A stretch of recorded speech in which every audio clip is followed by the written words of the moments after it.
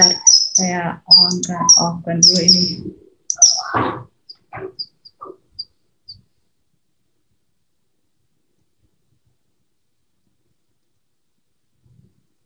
Sudah kelihatan ya share screen-nya?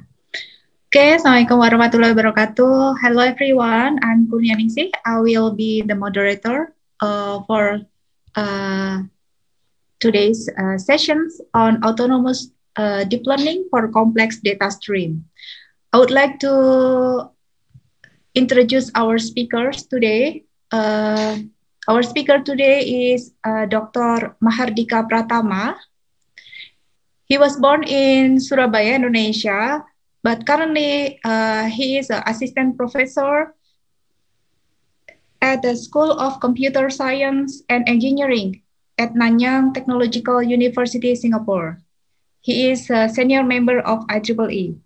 He is also active in uh, several uh, IEEE Society, uh, IEEE Computational Intelligence Society at Singapore chapter, and also IEEE Computational Intelligence Society Emergent Technologies as a technical committee.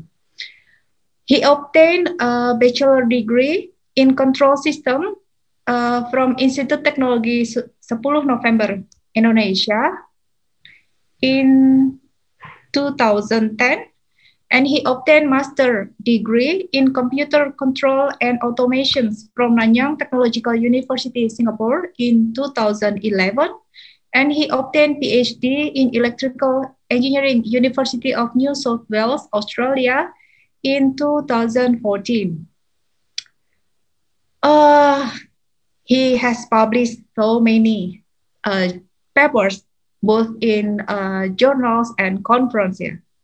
So top publications, more than 80 in tier A, uh, A+. plus. Uh, his citations, uh, 1,766, yeah. His HI index now is uh, 22. Okay. And currently he is a editor-in-chief at International Journal of Business Intelligence and Data Mining uh, publisher Inderscience. And he is also associate editor, Evolving Systems Complexity at Journals of Control and Decisions. Uh, he becomes a reviewer in uh, several journals in IEEE and others. He is also program committee in top of flagship uh, conference such as uh, AAI, IJCNN, plus IEEE, and etc. Okay, he, I think uh, I already highlight because so many, uh, uh, so many research projects. Yeah, uh, he becomes principal investigators in many research projects, uh, and also he received achievements. Yeah, such as a competitive award granted by MIT University for researchers in computer science. He received MIT University Researcher Award in data streams in January 2019. He received uh, IEEE Transactions on Fuzzy System Outstanding Publication Award in Q1 Journal in November 2018. And he received uh, said uh, University of South Wales High Impact Publication Award in 2013 for HDR students. Yeah, in uh, 2013 and 14. And he received prestigious Engineering Achievement Award uh, by Institute of Engineer in Singapore in 2011. Okay, so many achievement. Actually, he's still so young. he was born in 1988, so uh, younger than me. okay, okay, but uh, he has many uh, impactful achievements. So now uh, let's listen uh, his talk on autonomous deep learning for complex data stream. Okay, Mas Mardika Pratama, time is yours.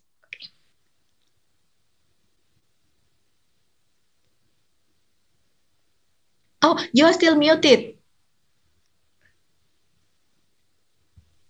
thank you very much, uh, Mbak Kurnianingsih, for the brief introduction. And also thank you very much, Prof, uh, for Prof Wisnu for his kind invitation for me to join this uh, webinar. I'm very glad to, to be here and to share some uh, research that I have done in this uh, in the area of data stream auto, autonomous deep learning. So I have shared my screen. Can can everybody see? Yes. Perfect. Okay, okay I go to screen mode. Okay. Uh, look, today my presentation will be about autonomous deep learning and, you know, uh, the motivation why we actually want to uh, pursue research in this direction because if we take a look of the standard deep neural network, deep neural network has been so powerful and can solve many tasks, many problems. However, the question is always in the uh, you know, handcrafted structure where deep neural network is designed. Uh, most uh, people uh, spend a lot of time in order to achieve good performance with particular structure. Now, how can we automate the structure design of neural network, deep neural network automatically? Uh, there are some algorithm like NAS neural architecture search and like genetic based optimization structure for a neural network, deep neural network that has been proposed. But the problem is that for those algorithms, the issue is that they have uh, high computational complexity and memory demand, and they are not suitable for data streams. And we know that the reason why deep neural network is powerful, it has been theoretically analyzed in the literature that uh, uh, is the power of depth. So meaning that addition of depth in neural network actually increase the capacity of neural network much more than addition of depth or addition of width and, or neuron in neural network. So that is the reason why deep neural network is powerful. However, if we take a look of the structure of deep neural network, uh, we are talking about evolving system, system that can adapt to uh, data. If we take a look at the, in the past, this is not new research, meaning that in the past, some people already work with um, fuzzy system, decision tree, and so on. But those algorithms is is in, in, in some sense are easier to evolve than deep neural network because the reason is uh, every fuzzy rule can be regarded as a local mode, as a cluster in the input space. However, if we take a look of neural network, the concept of node is actually not related at all with cluster. So if you want to evolve the structure of the neural network automatically and adapt to drift, because in data stream, we know the problem is that the data comes over time. And we also have the problem of concept drift where the model has to evolve, has to adapt to it. Otherwise, you know, the, there is a performance degradation that we cannot avoid.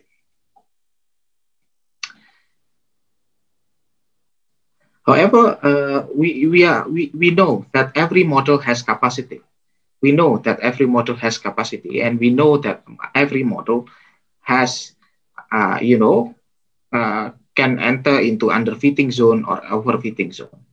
In other words, we can analyze the bias and the variance of the network. Now, the question is that how can we estimate those bias and variance of the network in the streaming fashion? So this is the main question. The main question that we need to handle if we want to handle data stream with deep neural network, because most approach in deep in data stream they are not based on deep learning. Uh, the, the, the problem is that for simple problem like, you know, problem that has less than 100 input attribute or with, you know, few classes, it is possible to be handled with non-deep learning based algorithm.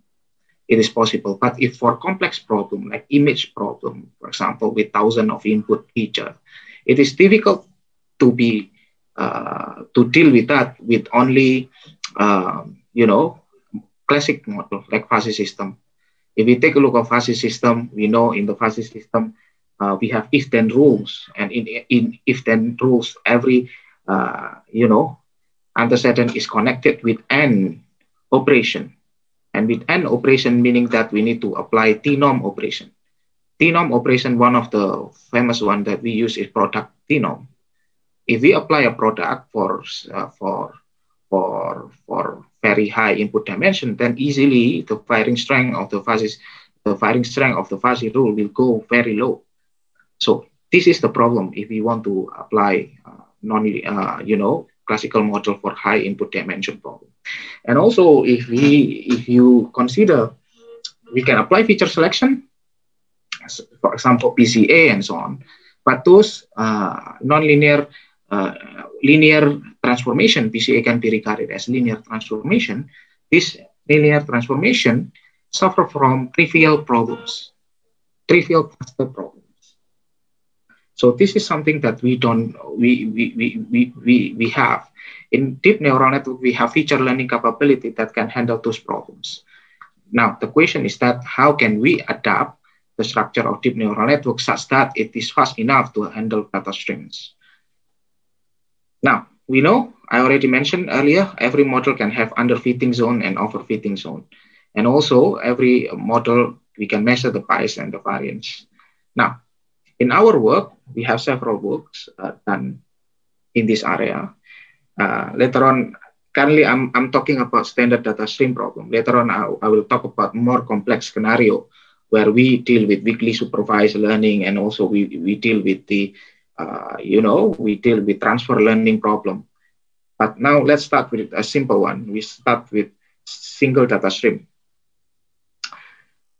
uh, the demand of adaptive network structure, which is able to adapt to continual data streams. Uh, and also, we need to solve catastrophic forgetting problem.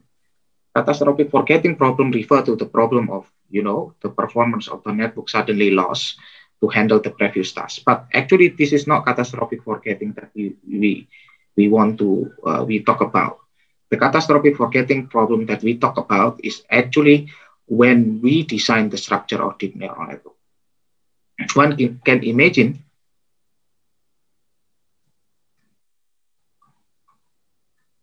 uh, one can imagine that uh, you know one can imagine if we evolve the structure of deep neural network, say we add a new layer, then there is a catastrophic forgetting problem. And this is a problem that have to be handled if we want to achieve the power of depth while dealing with data stream. Oh yeah, I have a question here. Hello, sir. What what the best model of deep learning that can solve the image classification case for facial age? Well, for image classification case, there are many model actually. If you uh, take a look like ResNet, I think ResNet can give you quite decent accuracy for image classification problem. Or, you know, some some some method like you know darknet or something. You know this this you know the pre-trained model is already there. If you want to uh, if you want to use it for your case you can just do transfer learning for your problem uh, Mas Dika, we can have a Q&A later, I think. So you can. Ah, I see. I see. Okay, okay. Yeah. Okay. Okay. So what is the key feature of this algorithm? First, self-construction of network structure from scratch, meaning that the structure of the network can be evolved uh, from data streams. Now, how to do it, I will, I will discuss about it later. Uh, no initial structure, meaning that it can learn its structure from scratch, meaning that we don't need to initialize the initial configuration network. But if we have the good initial structure as a starting point, then it will be good. So we can start from it also. One pass learning patient, this is mandatory for data stream because we assume uh, we, we, we are in the environment where data keeps coming. And when the data keeps coming, then we need to make sure that the computational complexity and memory demand are bounded. Otherwise, you know, it, it is not going to, to be scalable. And flexible elastic structure, adjustable network width, expandable network depth meaning that we can uh, add the number of node and the number of hidden layer automatically from data streams. First, I'm going to talk about our algorithm called neural network with dynamically evolved capacity, or we call it as NADINE. This paper is published in CIKM 2019. Uh, yeah, okay. So NADINE use MLP structure, multi-layer perceptron network structure, where you know, um, if we talk about MLP structure, vanilla neural network structure, or you call it MLP, vanilla neural network structure or MLP, you can call it like that. Uh, you know, it is fully connected neural network where you have multi-layer, multi-layer, uh, multi-layer architecture, and every layer consists of several nodes. And we want to use this structure for data stream. How can we use that? That is the question. Now, we know that in data stream there is a concept drift, and whenever there is a concept drift, we need to evolve. Otherwise, uh, we can use lazy learning, like you know, using KNN or something.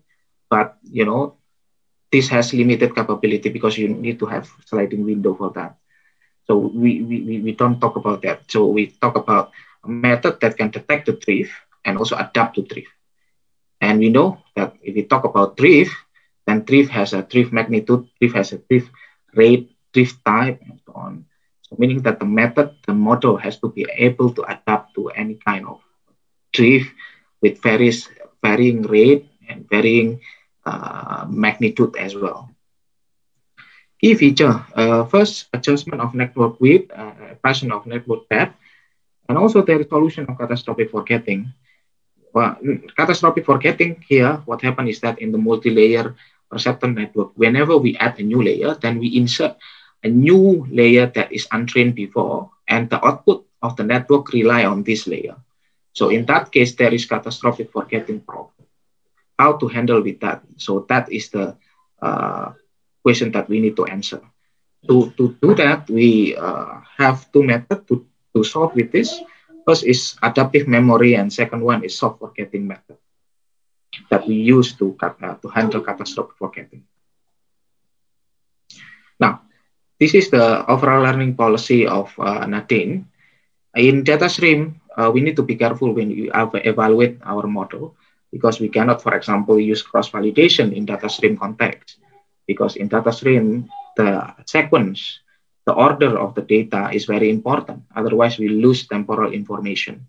So in that case, uh, we, we cannot use cross-validation approach. So what we need to do is that we apply prequential testing. This is standard, standard protocol that people in data stream uh, use to test their model. And also when you evaluate the model, it has to be evaluated carefully. We cannot simply take accumulated accuracy because if we take accumulated accuracy, the performance of the model when it can counter concept drift will not be reflected. So that's the point where we need to be careful if we uh, we handle data stream or online learning problem. And then uh, what, what, what, what does the prequential uh, test and train uh, what does prequential test and train mean here? Prequential test and train mean whenever the data comes, we test the model first and then update the model using the same uh, the same data. And it is also make it also makes sense because in data streams, right? Data comes very fast and there is a delay whenever we want to provide a label to those data. So that's um, the problem that we encounter. And, and then what we do is that we apply drift detection scenario here. Drift detection scenario, uh, there are several conditions that is possible here. First is drift condition. If there is a drift condition, then we need to add a new layer. And there is problem that we call, uh, you know, warning condition where the drift is probably occur, but it still needs some confirmation for the next using the next data stream. So in that case, we call it as warning phase. And then the third one is stable phase. When when it is stable, so we don't need to uh, to modify the structure of the network. And then we have hidden unit growing and pruning, hidden unit growing and pruning strategy. So you know, a new node can be added, a new layer can be added, a new uh, uh an, an inactive node can be pruned and so on. And then we adjust our method using stochastic gradient descent method, standard one, but here we apply soft forgetting mechanism. Later on, I will tell you why we need to have a soft forgetting mechanism. uh, here, if you take a look of this formula, this is actually statistical. This comes from the statistical process control approach. This uh, uh, method is normally used in for anomaly detection to detect whether a sample is anomalous or abnormal or you know normal one. So in that case, if this condition is satisfied, we detect that the bias in the current moment is not is not uh, is abnormal. It is very high. Then we add a new node, and the variance as well. For the variance, if we detect that the variance is abnormal, then we uh, chop, we prune the uh, node that that we see to be inactive. Now, this is the evolution of the network structure that we have. First is that we start with a very simple structure, very simple structure with only one hidden layer and one hidden node. And then after that, we can add a new hidden, uh, uh, new hidden node. And then we can also prune hidden node here based on the bias variance decomposition that we talk about. Now, okay, so I already mentioned this. This is a statistical process control approach form formula, but we have some modification actually here. Pi and psi, here, actually we make it to be adaptive in some sense. Later on we'll discuss because we don't want to add a new node when the bias is low. Or on the other hand, we don't want to uh, prune the node if the variance is uh, when the variance is low as well. Now, so here, this is the formula y minus y hat ex dx. This one is estimate the generalization power of the network given certain probability density function. If you expand this, then we have this formula. EY hat is actually expected output of the network. The first term is actually called the variance. The second term is called the bias we see that if we want to solve this equation, then we need to know the estimated output of the network. The estimated output can be calculated like this. W out integral uh, minus infinity to infinity s x w in plus b in p x dx plus c out. This one is actually the one that we need to solve. Uh, however, if we take a look of sigmoid function, the integral of sigmoid function, sigmoid function doesn't have that integral formula. So what happened is that we need to approximate sigmoid function using probit function. And if we do that, the integral of probit function is actually another probit function. And at the end, uh, in a nutshell, we can get this formula. If you are interested with the derivation, you can refer to the paper uh, uh, for more clarity. So probit function here, psi, in, in order to probit function to approximate the sigmoid function, we uh, we use psi equal to pi over 8. So, and then here we assume that the data are normally distributed with mean mu and variance sigma. Uh, after we solve this equation, then we have this expression. We have this expression. W out mu over uh, square root of 1 plus pi sigma square over 8 W in plus B in C out here. Uh, here we, we, we know that now this formula depends on mu as, as well as depends on sigma. Now, mu is actually mu is actually the mu is actually the mean of the data stream and sigma is also the standard deviation of the data stream. These two can be calculated recursively. So in, in other words, we can calculate this formula in the single pass manner because this formula is actually, uh, you see, mu and sigma can be calculated recursively, therefore we can solve this equation. And then uh, here we have mu bias t plus sigma bias t. As I said, we don't, if we take a look at this, the confidence level of this formula depends on P because this comes from the K sigma rule. the higher the sigma, uh, the higher the pi, then the higher the confidence level. The lower it is, then the lower the confidence level. So, so pi is equal to 1.25 exp minus pi square plus 0.75. In other words, we set this formula such that such that uh, it ranges from 1 to 2. It ranges from 1 to 2. Uh, so that what happens is that if the bias is high, then this formula will, will, will, will be close to 1. So in that case, it is easier for a network to add a new node. If the formula, the bias is low, then this formula will close to 2. So it is hard for the network to add a new node. So this in order to avoid false alarm. So in other words, we have a flexible confidence factor here based on pi, rather than we have a fixed pi. Now, how about for, for the variance? For the variance, we, could, we can do the same thing. Because here the variance formula is like this, we can calculate the same way as the bias. So for the variance here, we, if we take a look at this formula, we have two psi. For 2 here, the term 2 is added because we don't want to directly directly prune the network when new node uh, is added. Because whenever we add a new node, logically, the variance of the network will increase temporarily. But as more data are received, the variance will go down. So that's why we, we want to avoid that to happen by inserting the term 2 here.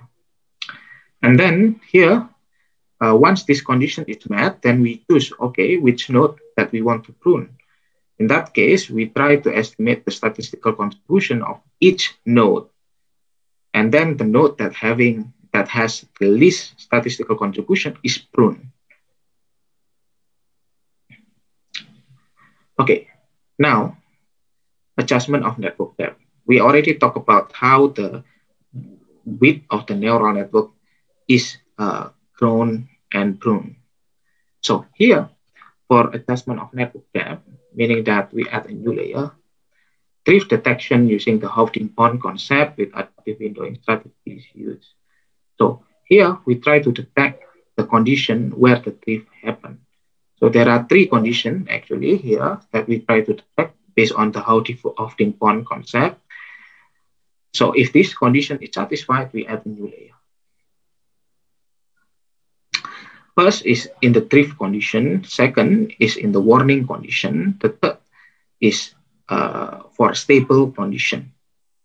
For the warning condition, we actually add a new layer. For the warning condition, okay, we don't add a new layer, but we store those data into a buffer. And then when the next data stream confirm the drift, then we create a new layer using the combination between data in the buffer as well as data in the in the current data. And then uh, there is a there is a stable condition. For stable condition, we just adjust the network the network using stochastic gradient method, stochastic gradient descent method. Okay, now how we, we detect the drift assuming that this is data stream that we receive, then first of all, what we need to do is to, to detect where the cutting point is. The cutting point is detected using this formula. And here, A hat is the prequential, uh, you know, is the accuracy factor that, uh, you know, contains either one or zero. So it is like a binary, binary number inside of A here where one determines if it misclassify a sample.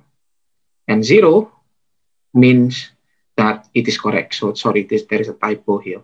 Zero should be when it is it is correct. When one when it is misclassification happen. So uh, A hat, so we compare with B. The size of B is actually here we define it as cut. And we don't check for every data samples in A, but we checked it uh, for certain partition. So here we use 25%, 50%, and 70%, 5% of A. So in that case, we have if this condition is satisfied, meaning that the mean of the data streams increases. So, so there is likely, uh, there is possibly concept drift there. So in that case, what happened is that we partition the data into two if this condition is satisfied. And then we, we, we uh, you know, partition this metric into P portion and C portion. Sorry, it should be P and C. Uh, it is not G and H. There is another typo. So G and H should be B and C. And then we compare the statistic of B and C. If the difference between these two are high, greater than epsilon drift, then there is a drift condition. If it is uh, not greater than epsilon drift, but greater than epsilon warning, then uh, this is a warning phase. So in that case, in other words, epsilon drift and epsilon warning, what is the difference is that in terms of the confidence level. So the confidence level of the drift phase is more than the confidence level of the warning phase. So if there is during the warning phase, what we do is that we save the data into a buffer and continue the training process. And if the next data point confirm uh, the drift, then we use it to uh, create a new hidden layer. Here, uh, if these two conditions are not satisfied or, or violated, then it is stable condition. During the stable condition, what we do is that we use stochastic gradient descent method to update the current structure in the one pass learning patient. Okay. And then here, uh, now the question is that we know that whenever we add a new layer, then there is a catastrophic forgetting method, I mean, I mean problem, because we, we add a new untrained layer to the current configuration of the network. So in that case, there is possibly a problem. So in that case, what happened is that we use the experience replay mechanism. Experience replay meaning that we whenever we add a new layer, we make sure that important concepts in the past are used to induce this layer. So in that case, how we detect the important sample? The important sample, what we detect is that we use ellipsoidal and anomaly detector concept. So in other words, we calculate the Mahalanobis distance between the sample and the center and the covariance matrix of the network. And then after that, we use chi-square distribution with two confidence level. If these conditions are satisfied, TP1 and TP2 in between, TP1 and TP2, because what happens is that if it is too close to the center, the center of this distribution, right, C and A here, the covariance matrix A, then it means that this sample is meaningless because this sample will be likely to be will be likely, you know, redundant samples. We don't want to learn redundant samples because it doesn't present anything. However, if it is too far, it can be simply an outlier. If it is an outlier, then, you know, we, we don't want to ruin the current decision boundary using the outlier.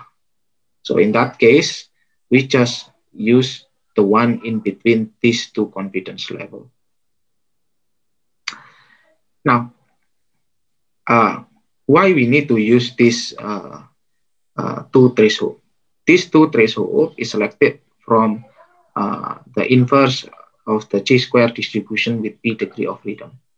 And we know that for, you know, uh, any threshold selection from any unimodal data distribution cover most of the points. So in that case, there is no problem for us to use this as long as it is statistically sound. okay, now, this is the soft forgetting mechanism. Why we need to have soft forgetting? What happened is that in the case of large scale data stream, I'm talking about large scale data stream, data stream that is greater than, you know, 1 million. Say like SUSY problem, it has 5 million samples. So that those, those, those, those kind of data streams the, we find that performance, the performance of network suddenly decrease, suddenly decrease. And when we check uh, the output activation function of the network, all close to one. So in that case, there is uh, exploding gradient problem. Exploding gradient problem. So in that case, we can use dropout to solve this problem. But in dropout, it is fully random, right? It is fully random.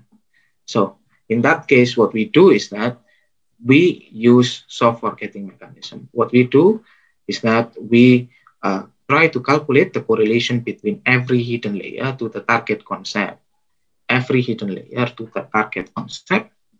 And then we use that to calculate the learning rate of the data, uh, the learning rate of the network. Here you see that we have the factor of 0.01. So it means that 0.01 is the highest learning rate. And below that is, you know, you know, meaning that if the net, the layer is highly relevant to the current concept, then it learns. So the learning rate is, is, is, uh, is, you know, close to 0.01. If uh, the learning if the current network is uh, the current la the layer that we talk about is not relevant to the current data streams, the current concept, then the learning rate will be low. This strategy, this strategy also can be used in the continual learning.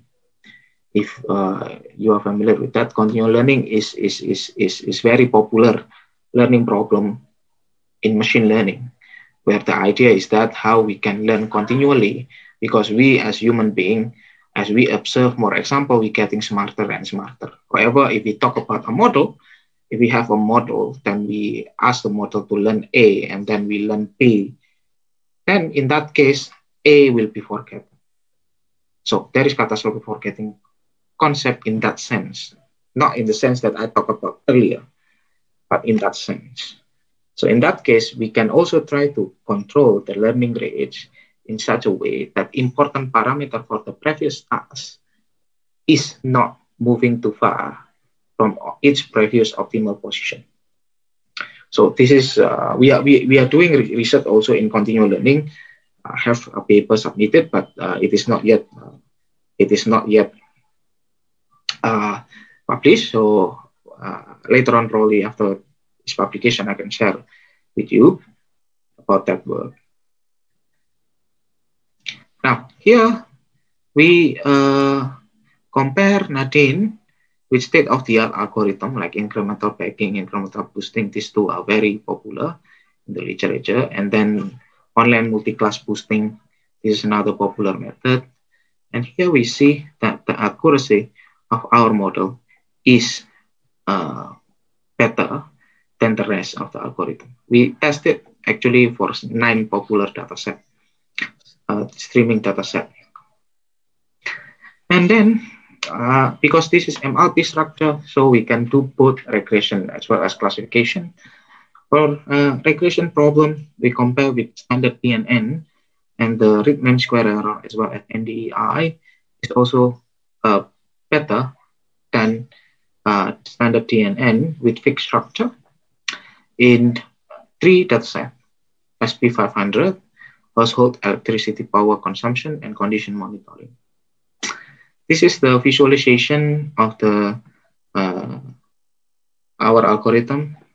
We have the classification rate here. And we also have the testing classification rate and also the structure of the network here.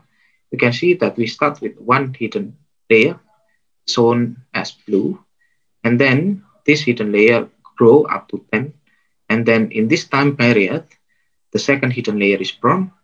And during that period, the you know there is a growing and pruning process up to the case where it is stable. Stable means there is no more hidden node to be added in that case. So and also the third hidden layer is added here using the drift detection method and so on. And you, what we can observe is, is that the evolution of the structure is quite stable. What it means is that it is not fluctuating, like, you know, you know, showing instability, but it is stable, meaning that, you know, the performance, and also you see the performance of the network in terms of uh, the performance of the network is quite, you know, is not compromised as well during the structural evolution of the network. Now, uh, the second one that I want to uh, discuss is about uh, deep evolving denoising autoencoder published in Neural Computing in 2019. So in that case, you see for denoising autoencoder, for denoising autoencoder, there is a generative phase as well as discriminative phase. Now, we can, this will be useful. Why it is useful? Because if we deal with complex problem, like weakly supervised learning problem, where the label are scarce, or you know, the problem like transfer learning, where we have source and target domain. So in that case, uh, we need to have a kind of mechanism to handle with that.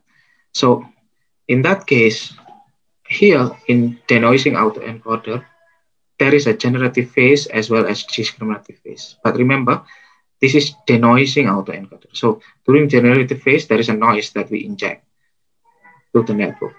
And the noise injecting mechanism also function as regularization mechanism to the network. And this process actually happen continually. So after generative phase, discriminative phase, and then whatever we get in the discriminative phase is feedback to generative phase to uh, deal with the next uh, data streams. And then we feed it to the discriminative phase, and then we feed it back again to generative phase, discriminative phase, and so on. Generative phase means we, we learn the network to reconstruct the current samples, meaning that we don't minimize the classification error, but what we do is that we try to minimize the, uh, we try to minimize the reconstruction error in the, in the learning objective of the network. And the third one is about ADL. This is published by SDM, SIAM, in, SIAM International Conference in Data Mining in 2019 yeah, so here, uh, ADL is not similar. It has uh, different uh, uh spirit than NADINE, but the idea is that it has it use different depth network structure, meaning that every layer in how we handle catastrophic forgetting in the in this context is that for every layer we have local output so every layer has local output. So meaning that whenever we add a new layer, then there is no catastrophic forgetting because the previous previous layer can still produce an output. So there is no problem. So in that case, the uh, the final output is produced by the, by the weighted voting mechanism, by the weighted voting mechanism. Okay, so this is the uh, training architecture of ADL autonomous deep learning. Uh, here, the difference with ADL is that we have dynamic adaptation of layer weight. So because every layer has an output, has a local output, so we can assign a weight to every layer so that we know which layer we should trust. And then there is a dynamic penalty and reward mechanism that we uh, use in order to select which layer is relevant, which layer is not relevant. And then there is a hidden layer pruning scenario. This is something that is not possible to be done in the multi-layer structure, multi-layer perceptron structure uh, in NADINE. Because whenever we chop in a layer, then there is a problem of, of you know instability. But here, because every layer produces a local output, then there is no problem whenever we uh, chop uh, uh, a layer. This is the structural evolution and you can see uh, every layer, layer, this layer has a local output and this layer also has a local output. And every layer here has a way we, that we reward and punish according to the performance. Okay, I think uh, that's all for uh, this first part of my talk. I probably can open a Q&A question up to this point. Yes, please. Yeah, okay. Uh, okay, so I think first. For question. discuss about my questions again. Next, Maybe okay, so. Could, uh, explain again, re-explain. Okay, so. Uh, okay, first uh, about your question. Your question is about image classification problem, right? For the image classification problem, for the image classification problem, there is several uh, problems that probably uh, that there are several models that you can use. The most popular one is ResNet, but it depends. It depends how complex is your data set. You can know the complexity of your data set by knowing how many class you have, how many uh, input you have, and then it depends if it is image then the image is color image or it is not uh, just black and white image. So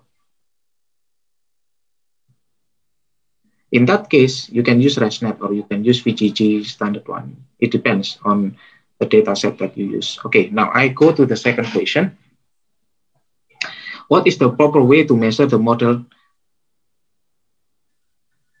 uh, what is the proper way to measure model performance upon the, upon the concept drift?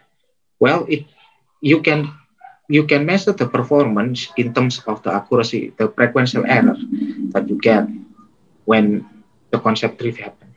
But if you if your question is more related to how to measure the performance, or how to measure the drift itself, there is some metrics that we can use here, like you know drift rate. You can measure the drift rate we can measure the drift magnitude, we can, you know, measure the drift react, uh, reoccurrence, and so on. So hopefully this answer your question.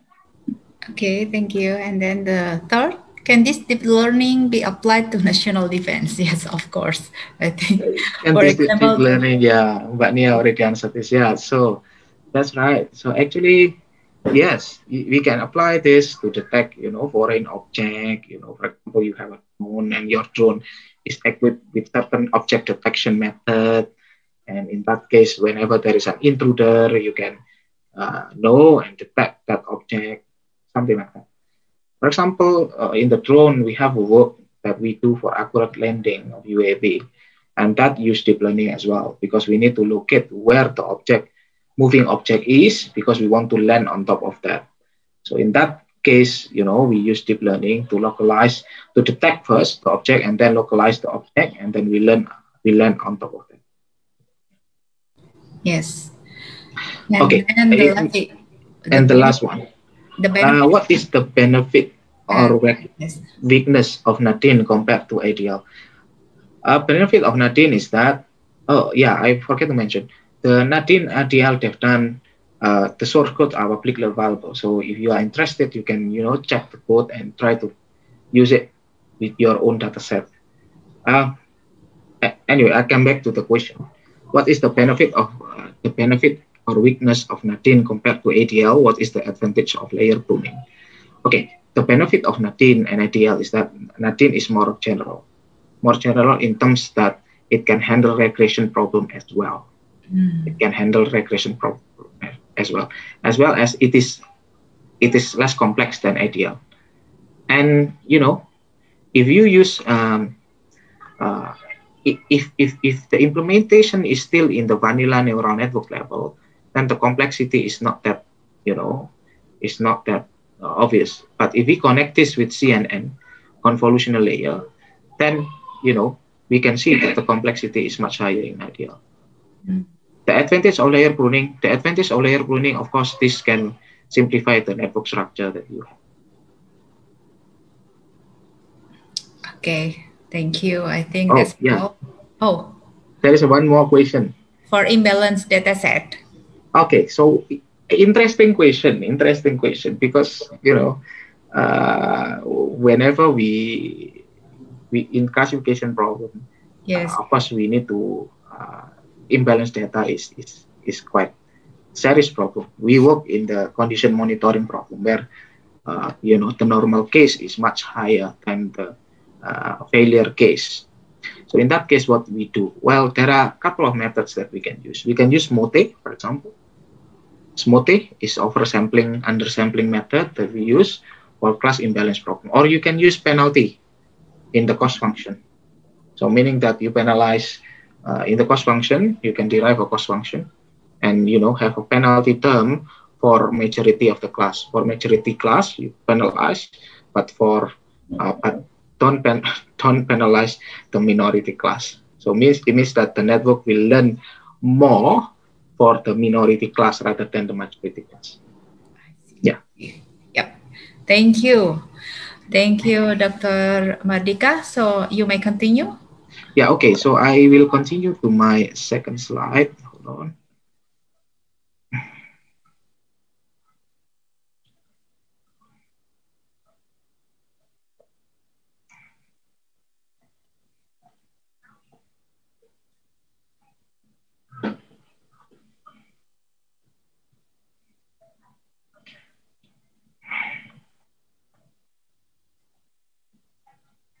Okay, can it be seen or still the previous slide?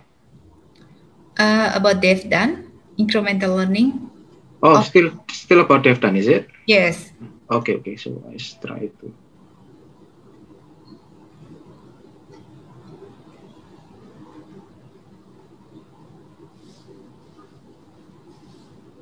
Okay, can it be seen?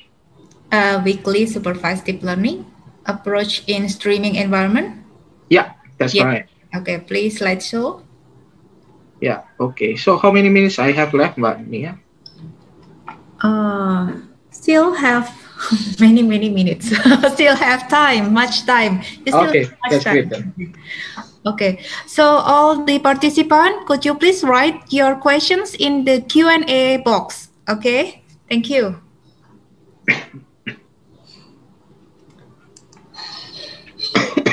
okay.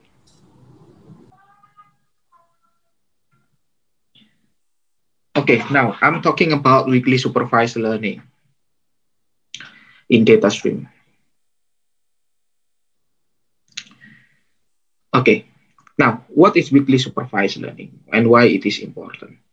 Because if we talk about data stream, it is impossible for us to station an expert to keep labeling our data because data keeps coming and we, it, it is impossible for us to keep labeling those data, right? So what we need to do is that we need to uh, normally we can label part of the data only, or in the more extreme case is that there is a delay problem.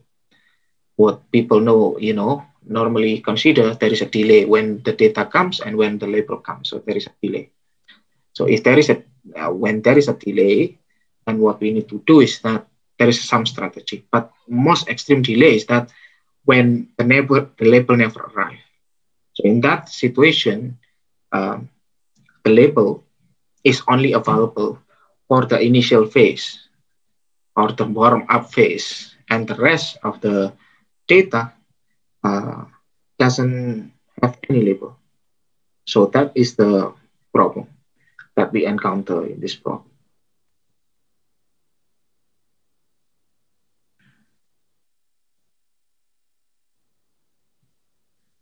Okay.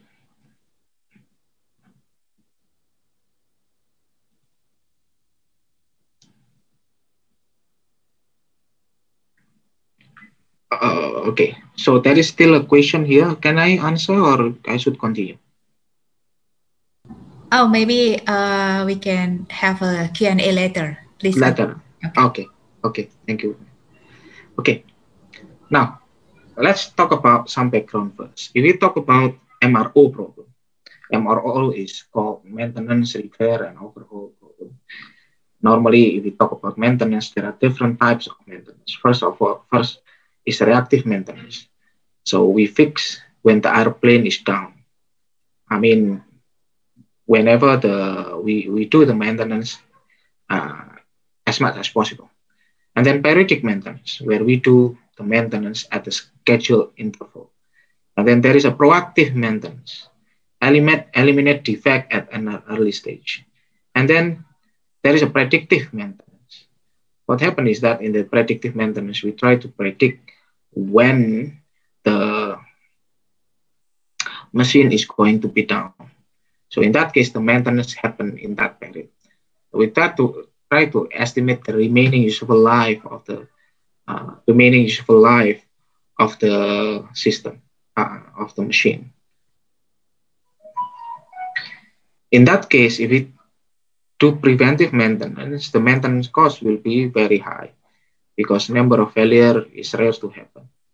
And then if we do predictive maintenance, it is actually at the optimal point where we try to maximize the lifespan of the tool, as well as, on the other hand, avoid when the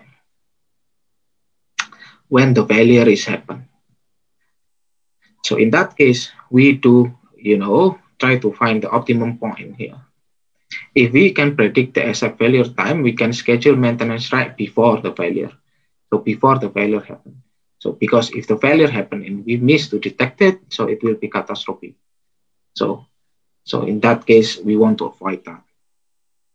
Now, normally what we do in the predictive maintenance that we have real-time system monitoring the aircraft engine and the aircraft engine parameters is actually reflected through, uh, you know, certain, you know, data transmission. And we have data acquisition system here that uh, you know, and then we have predictive analytic algorithm that try to predict what is uh, uh, what happened. I mean, when the engine will be down, something like that. So this is the classical approach. However, if we talk about data streams, we talk about potentially unbounded data. And we thought we cannot have a static model because static model means our model can be obsolete if there is a drift. Generated at rapid rates and performing linear scan of the data is only acceptable across methods in terms of computational efficiency, meaning that uh, we need to update the model in the single pass learning fashion. And then we have predictive analytic algorithm. It should possess bounded computational time and memory demand as I mentioned earlier, so not ideally it, it, is to be done in the single pass learning fashion. So once the data is learned, it is directly it is directly discarded. Now, now we know that there is a we, have the problem of you know computational computational burden and also memory demand. We also have the problem of uh, uh, you know, concept drift. We understand that. Another problem in data stream is about label availability, or we call it weakly supervised deep learning. Uh, sorry, weakly supervised data streams. Now, here we, we define two scenarios that may happen. First is sporadic access to the ground truth, meaning that the data stream are partially labeled. Say if we have 100, uh, you know, 100 samples, 100 streaming samples, in that case, probably only 10% of the samples have labeled. The rest come without label. So how to handle with that? And in this case, um, we don't know the class proportion as well because it is truly random. And for some class, even you know we cannot obtain the label because some class is actually more expensive to be labeled than another class. Uh, and then the second one is infinitely delayed access to the truth. This is, you know, this is the one that is uh, challenging to handle. What happened is that only the first data batch has the label, and the rest don't have any label. So during the warm-up phase, the label is there in terms of Y, but in the implementation phase, there is no label at all. So, and we need to uh, be able to adapt to it. Remember, this is not like you know deployment phase in the in the standard machine learning where you know we we don't do anything during the deployment phase, but during the implementation phase and phase here, we still need to learn the data.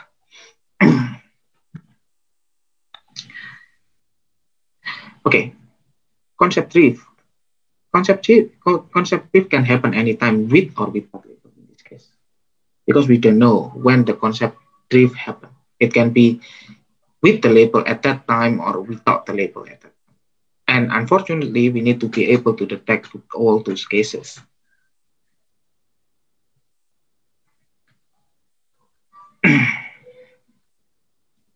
okay, what is the aim and objective?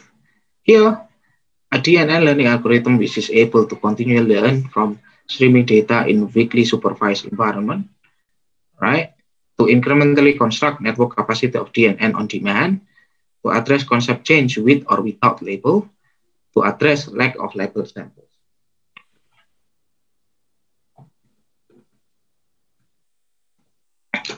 Okay, now here you can see concept drift can happen with or without label. So in that case, there is a generative phase and also there is a discriminative phase. So in the generative phase, we learn to reconstruct the samples. And the discriminative phase, we learn how to minimize the classification error.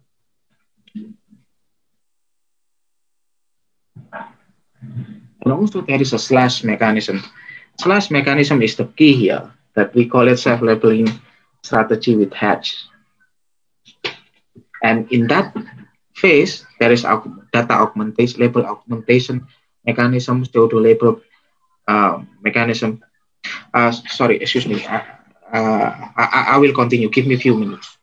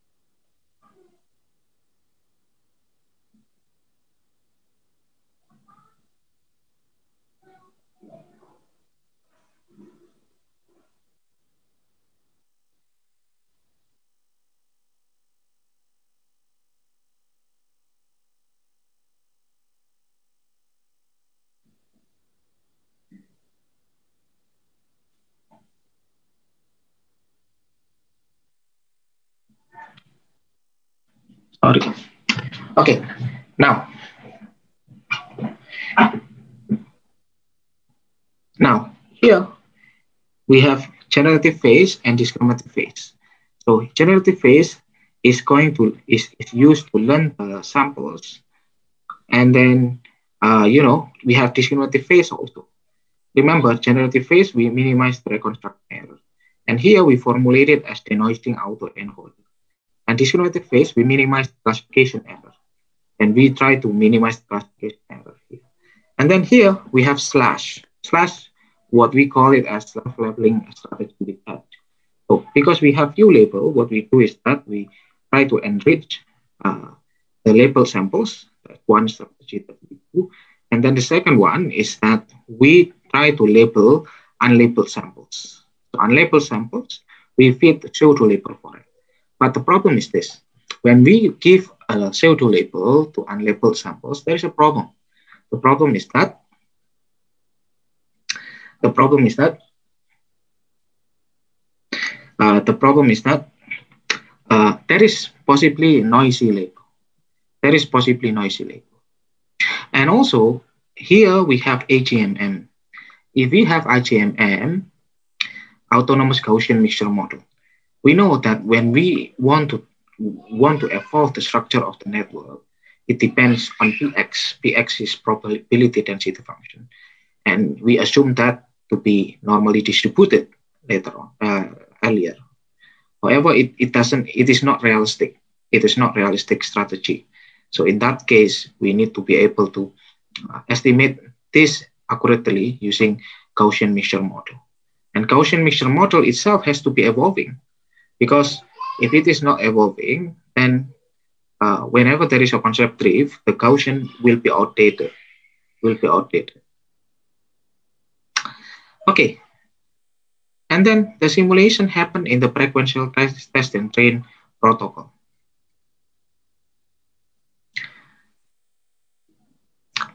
Okay. So this one, we have coupled discriminative and generative phase because as I mentioned, concept drift can happen anytime with or without the label. So what happened here, we have generative phase. Whenever we have finished generative phase, the structure we uh, feed it to discriminative phase. And in the discriminative phase, we uh, have a hidden node growing and pruning. And then here we feed it back, feed it back again to generative phase and so on.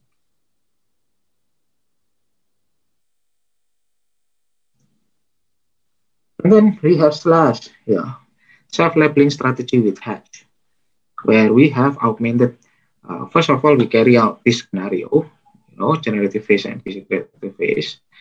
And after that, we have AGMM here that try to estimate the probability density function and adapt whenever there is a concept drift. Pxt is not equal to Pxt minus 1.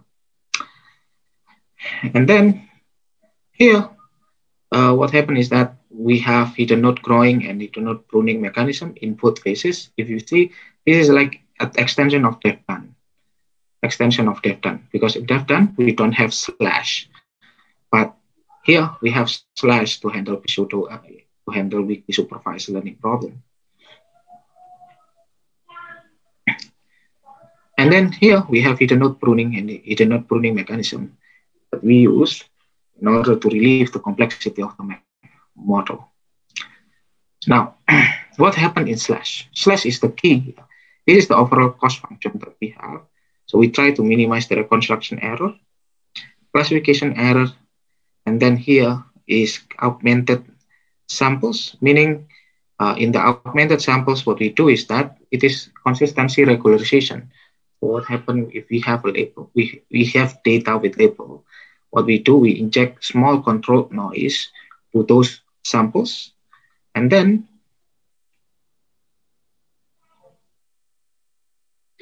small control noise to those samples. And then after that, uh, and then, you know, in that sense, the number of label samples will increase because of that. And then here we have pseudo label uh, generation mechanism where we have unlabeled samples and label samples we try to label using uh, the output of the network itself and output of the Gaussian mixture model, and we combine it to induce the pseudo label samples. But the problem is that this label may be, may be correct, may be wrong. So in that case, we have auto-regularization strategy that we design here. Half alpha 3 rho theta minus theta star square.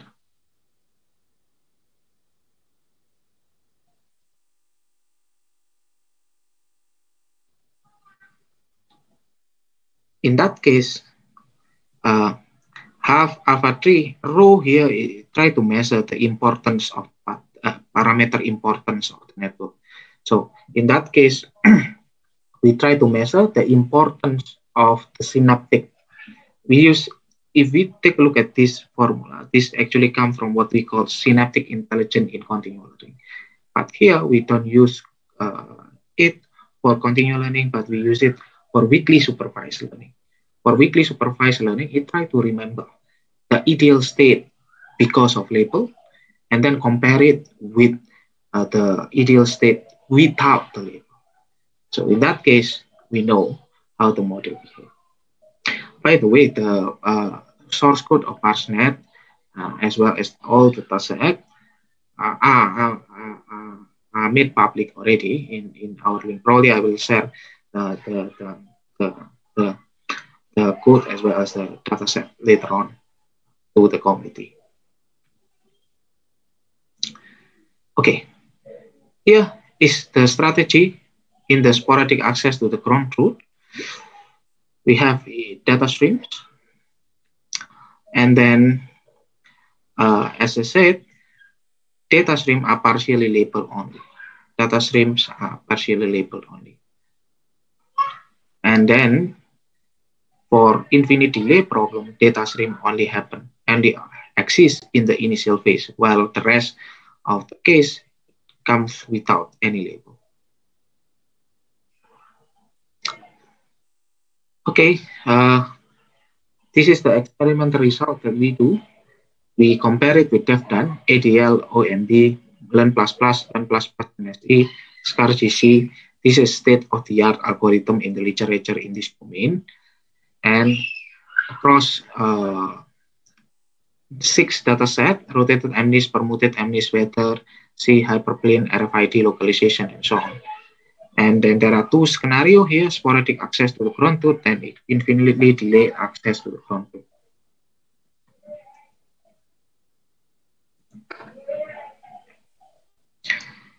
Okay, now this is the performance of ParsNet compared to other algorithm. We see that the outperform other algorithm in most cases, and the maximum performance improvement is 21.46%, and the minimum improvement is actually in in the maximum improvement is in the rotated MNIST dataset, and then minimum improvement is in the on the SEA dataset, 0.1% improvement.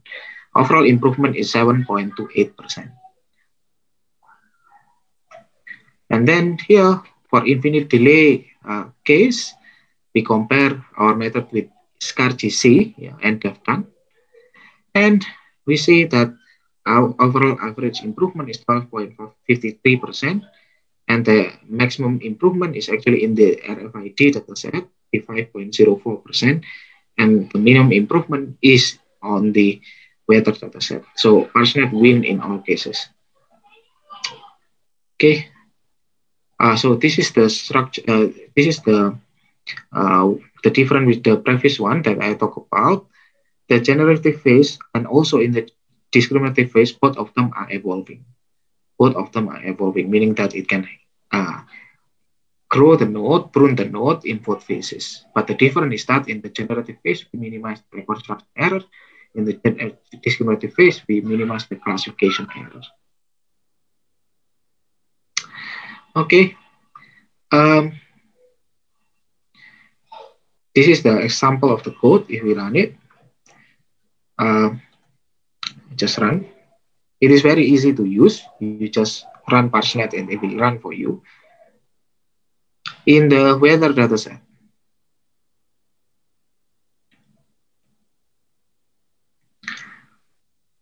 And here, already finished. And then we get the performance of the network in this case.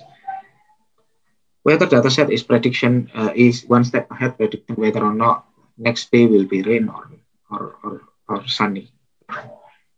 Yeah, I think that's all for ParsNet. Uh, I will talk about ATL after this. Uh, any question? Okay, yes. So we will break for Q&A. Q&A? Yes. So there is a questions in the first session. So, so, so okay. okay. So NADINE tend to make, to make the network complex. Ah, uh, yeah. So NADINE tend to make the network. No, NADINE doesn't make the network complex, but the difference is the architecture of the network. If in the ADL, we actually have local output for every layer. We have a local output for every layer. So in that case, uh, you know, meaning that every layer has a softmax layer. So we have additional parameter in ADL. So that's the difference. The second one, how we set all parameters value to obtain base accuracy. Well, here we in data stream, what we do is that we normally fix the parameter across all problems. We cannot for one problem use this parameter and then for another problem use this parameter like that. No, what we do is that we just simply set the parameter to a certain value. Of course, you know, it cannot be too, we don't want our algorithm to be ad hoc or parameter specific. Can you show the training and testing data set? Uh, training and testing data set, uh, you know, you can, I'll provide you a, a link later on where you can find the algorithm with all data set that we use in the experiment. Yeah. I have this. Oh, there is a one questions in the chat box. How is the deep learning hyperparameter setting in meta-learn ensemble learning? Which one? From Mr. Bambang Siswoyo. How is the deep learning hyperparameter setting in meta-learn ensemble learning? Uh, so you are talking about meta learning or? Meta learning is different thing. Can you show, okay. Oh, wait, this one. Okay, I find the question. How is the deep learning hyperparameter setting in meta learning ensemble learning? So in meta learning, meta learning is different one. Normally for meta learning, it is strategy that we use in few shot learning. And for meta learning, there is it will be a different it will be a different topic. So it normally for meta learning it is used for few shot learning. Uh, does it answer the question or not? Yes it's okay. Okay yeah. one more questions. Uh, what is the difference between weakly supervised learning with self-supervised learning? The difference uh, for self-supervised learning i'm not that familiar with self-supervised learning yet but for weakly supervised learning it is like uh, you know we define it as a data streams that has few label, something like that. And you know, uh, sometimes weakly supervised learning is defined as a uh, is weakly supervised learning is defined as the problem where the label are noisy. This is also, uh, you know, another definition of weakly supervised learning. Okay, yeah, I think you can continue. Oh, still have. Still another question? One okay. problem with the label is open set problems. Can weakly supervise solve this? One of the problem with label is open set problem. Can weakly supervise solve this open set problem? I'm not sure with this problem. Uh, open set problem. What what is that? Probably uh, we need to discuss more yes. so that I can understand.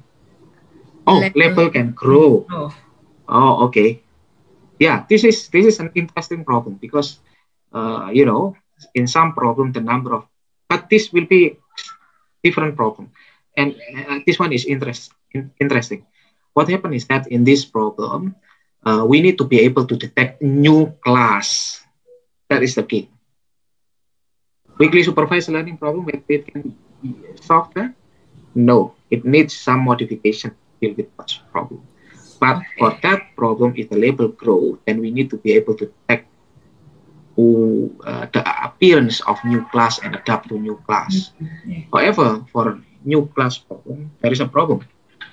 If we have a new class and we learn a new class independently from the old class, then so there is a catastrophic forgetting problem. There is a catastrophic forgetting problem. Okay, how that's the main this. challenge, detecting yeah. a new class. Okay. Detecting new class. Yeah. Yeah, thank you. So you may continue for Okay, the, I will continue for the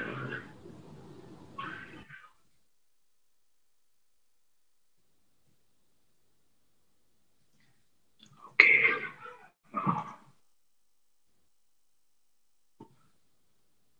Okay.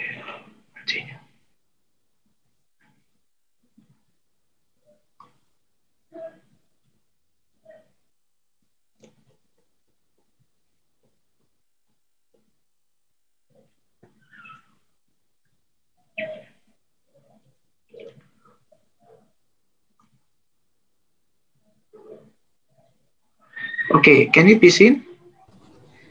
Autonomous knowledge transfer from yeah. mainstream. Yes, okay. Please. Yeah, okay. For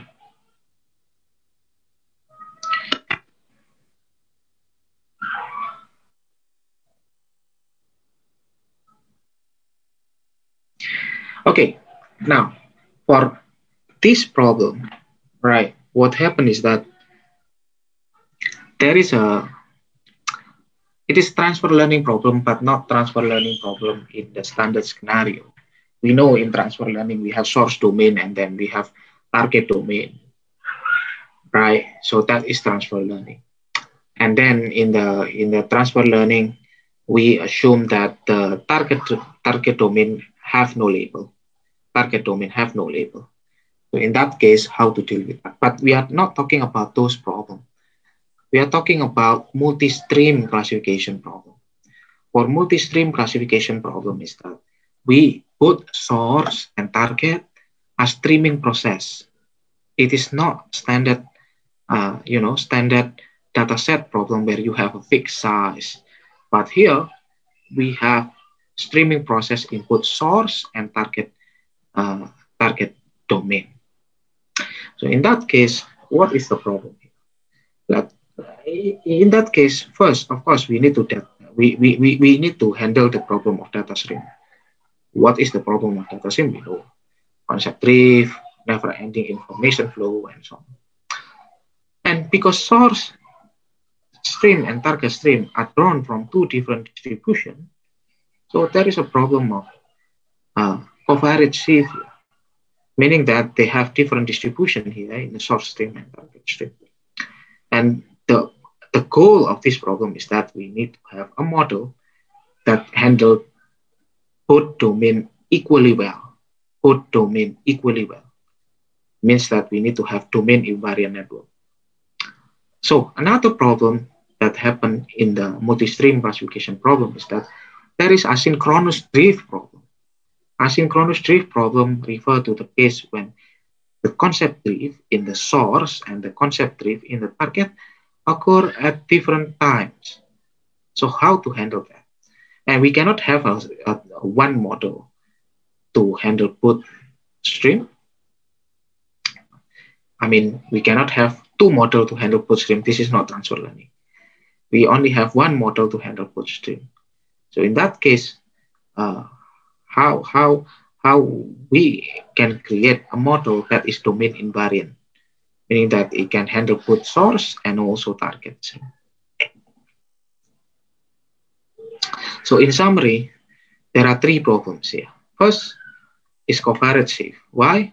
Because source and target follow different distribution. Second, there is asynchronous drift asynchronous drift uh, refer to the case where the concept drift happen at different time intervals, happen at different time intervals. And the third case is the and the third case is the uh, fact that target stream have no label at all. So only source stream has a label, target stream has no label. Okay, so we are not the one that handle this problem. Uh, the first one proposing this problem is MSC by Chandra in 2016, and then followed by Fusion, is which is improvement of MSC in, in 2017, and deep learning based algorithm for transfer learning is designed in 2015. So this is uh, the uh, you know deep learning work to handle that uh, transfer learning problem. But they are it is an offline problem. It is an offline problem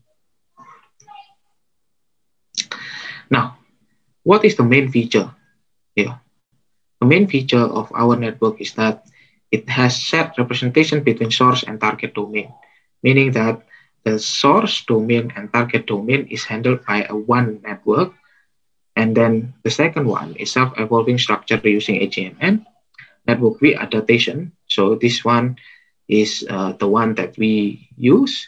So to handle asynchronous drift, meaning that the network has to be evolved for source stream as well as target stream. And then the, the we evaluate our model in the prequential tested train fashion. So this is the overall cost function that we have.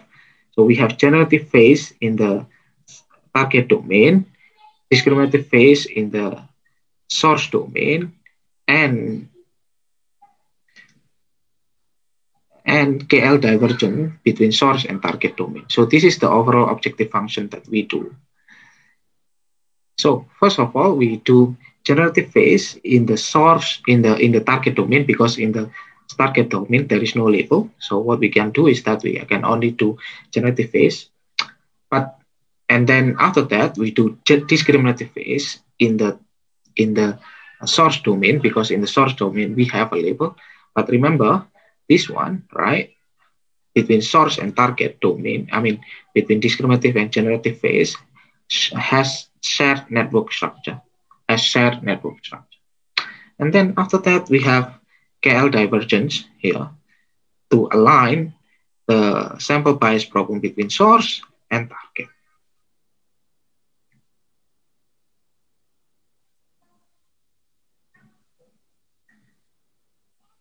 Okay. Now, this is the evolution of network structure that we have. First is that uh, it can, it is evolving the same strategy that we use in uh, ParsNet. Here is that both network are evolving in generative phase as well as in the descriptive phase. But here, ATL is only single hidden layer network. It is not deep.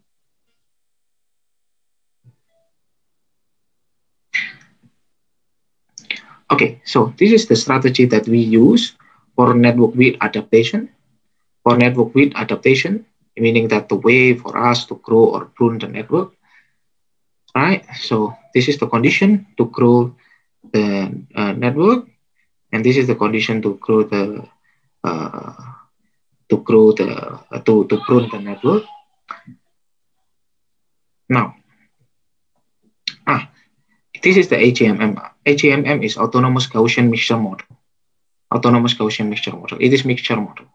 Okay, so what we use this in order to estimate the probability density function here. If you see, the difference with the previous one is that uh, we have n, and we have it is estimated based on the number of Gaussian mixture model. This is the Gaussian mixture model. We have m model, right? m Gaussian, what I mean, and in that case, the bias and variance is estimated based on m model.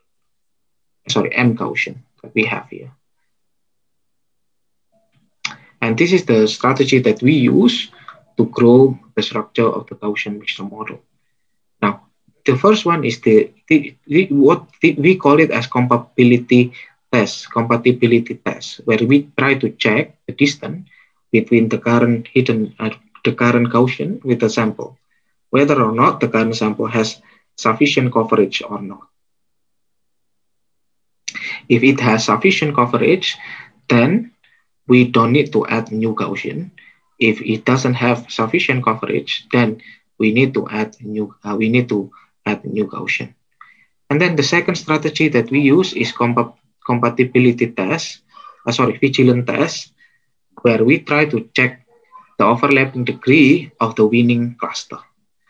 If the winning cluster is too big and it already occupy all space that it has, left, it means that it overlap with other uh, Gaussian, then we need to grow a new Gaussian. So that's the second one. So we have two strategy here to grow the Gaussian. And then we have cluster uh, deleting mechanism. In order to avoid, we have too many Gaussian, too many Gaussian, where we measure it across the lifespan.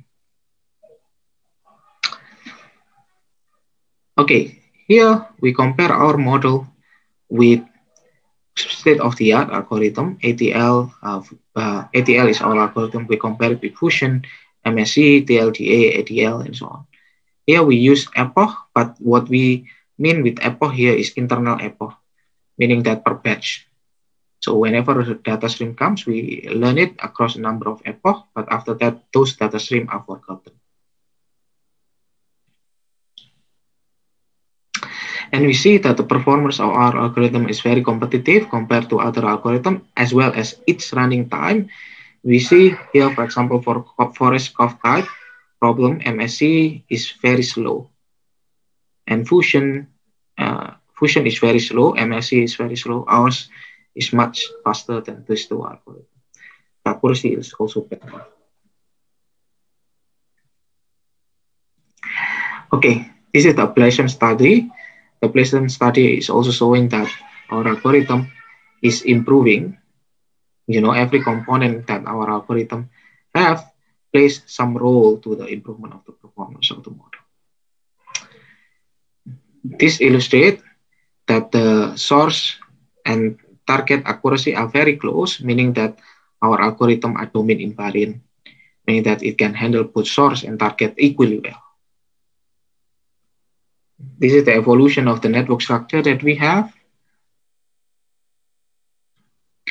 Uh, yeah, and then this is the running code. The code of ATL is also publicly available.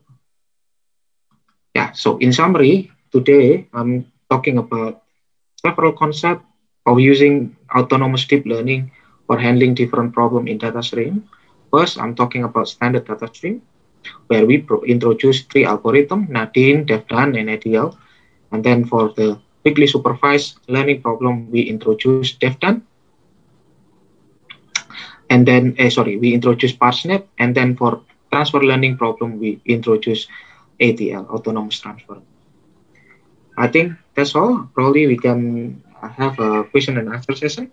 Yes, thank you very much, uh, Dr. Mardika, for oh. your great talk. Okay, so actually a question by uh, Mr. Ibnu Dekike already answered, I think, what is AGMM? Autonomous yeah. uh, Gaussian mixture model. It's a mixture model, right? Yeah, it's a mixture model.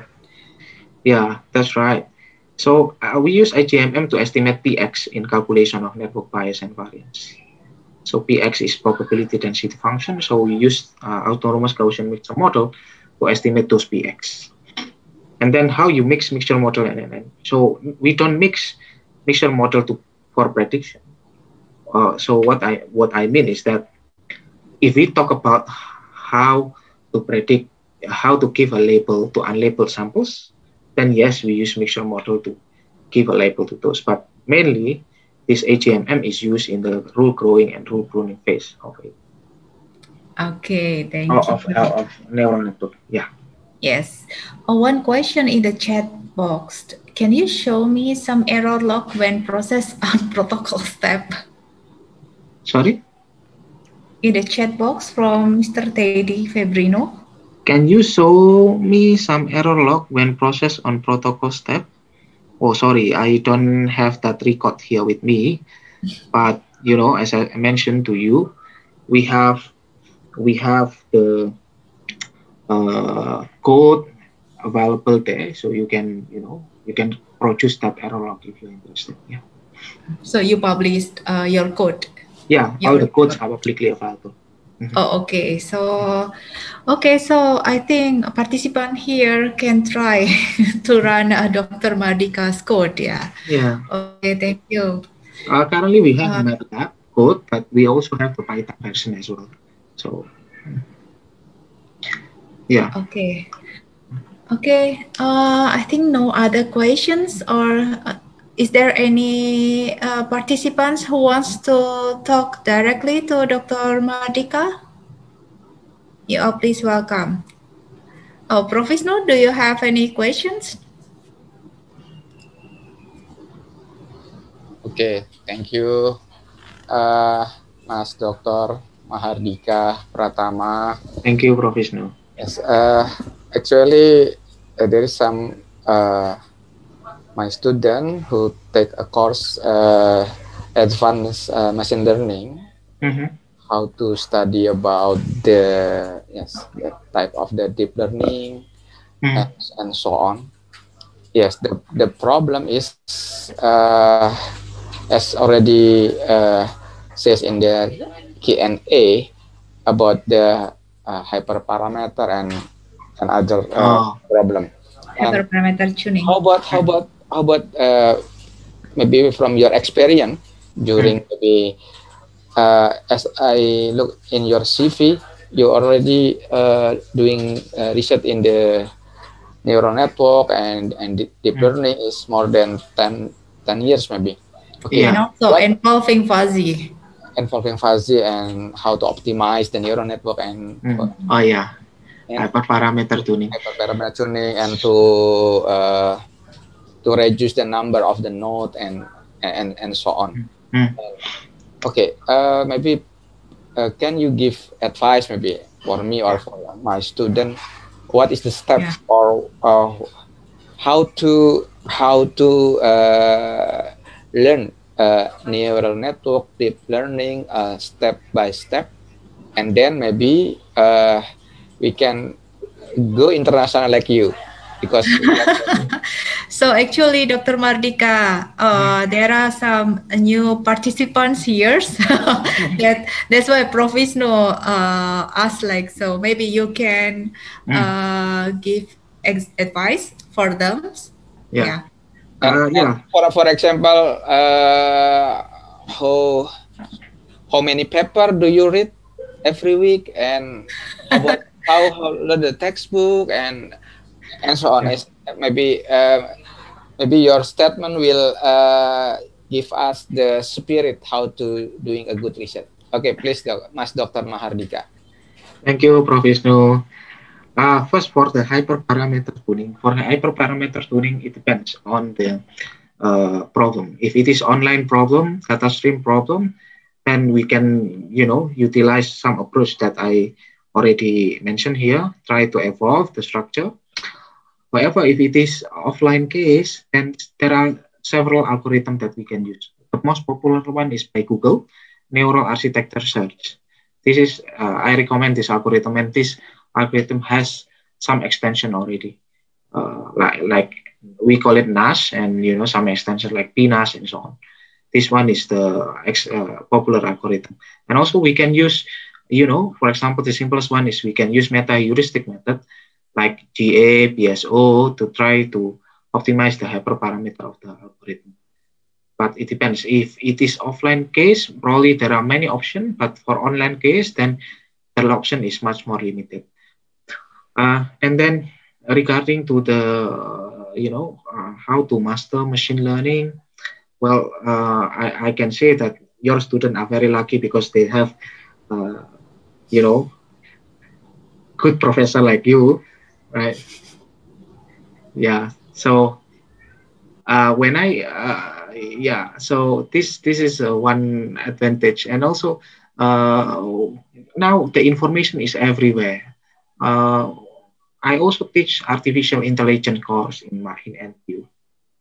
And what I advise is that information is now uh, to, to my student information is everywhere. So it is different from time where I did my PhD. PhD. Uh, in that time, the information is still very limited. Even nowadays, the way we, you know, we can share a code, every people now in machine learning sharing their code because of you know the reproducibility issue so this this this this this one is the uh, you know the code can be studied and so on sometimes it is not easy to execute those code but at least uh, people are you know is becoming more transparent to their research so which is good uh, and some online courses like uh, Andrew Ng machine learning courses is, is good and easy to understand. And for the book, uh, I recommend this Kevin Murphy uh, Machine Learning Probabilistic Perspective. This one is good uh, book that you know um, uh, that you can learn. Um, and also another book is by this one uh, Kevin Murphy.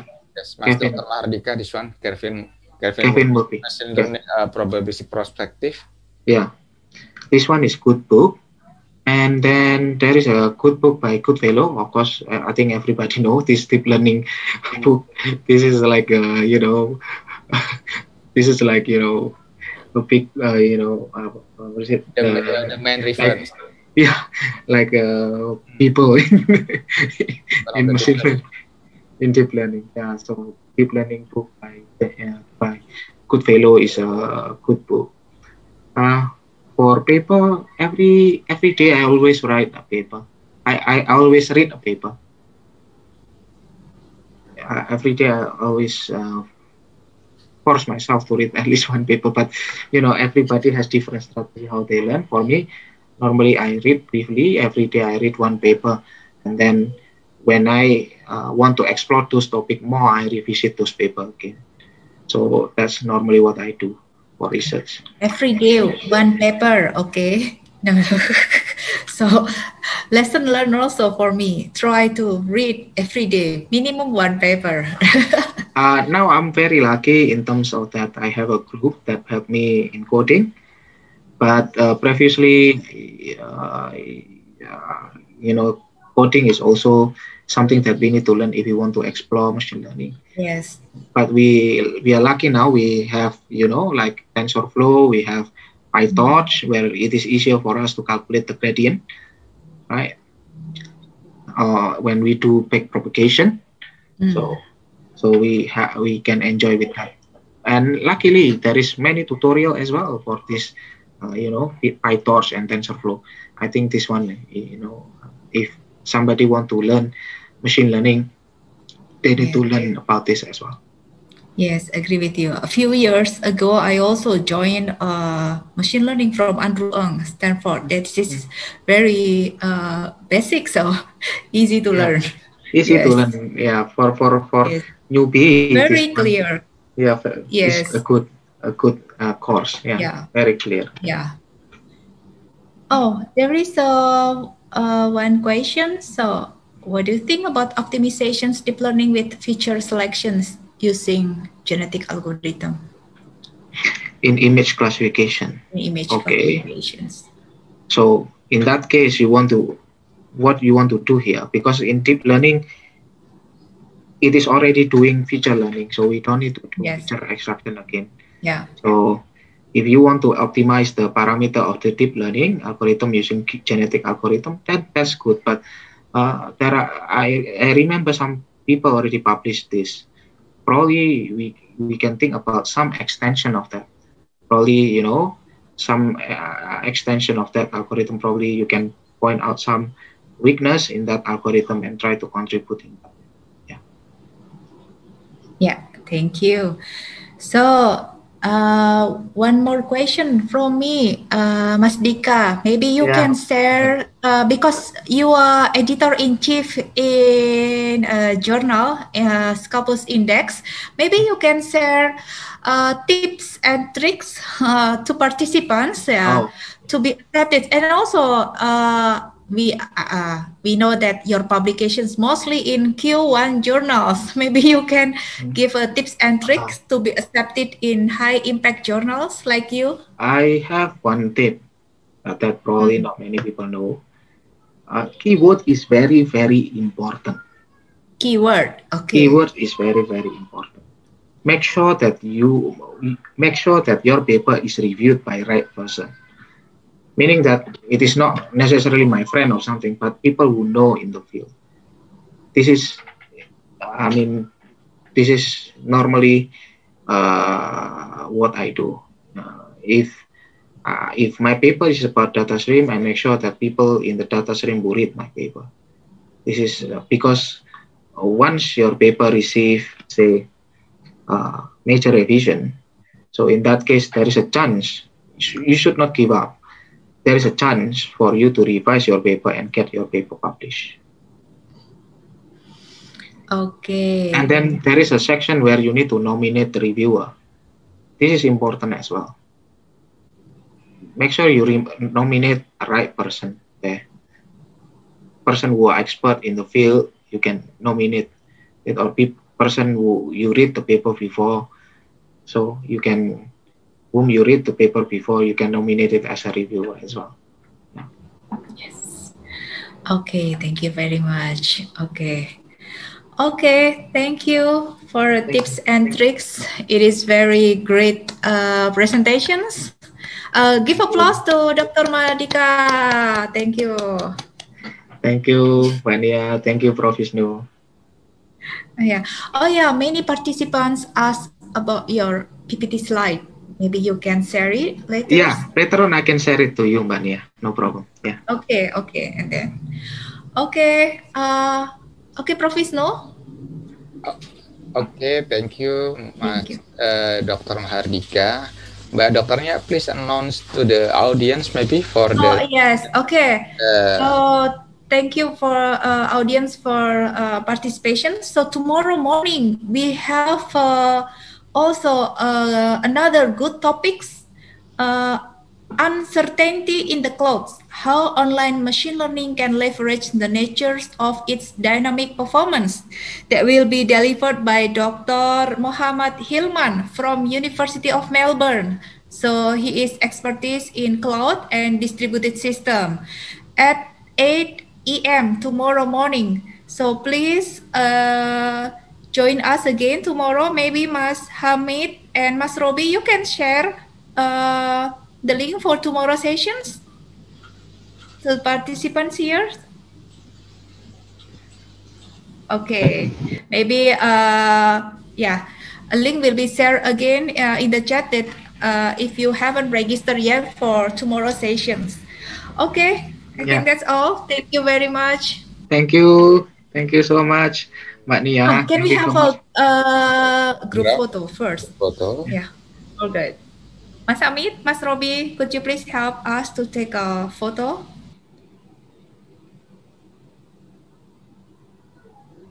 Hello. Okay, I will Yeah. guide the photo session. Hmm? One, two, three, and smile. Uh, once more. One, two, three, and smile.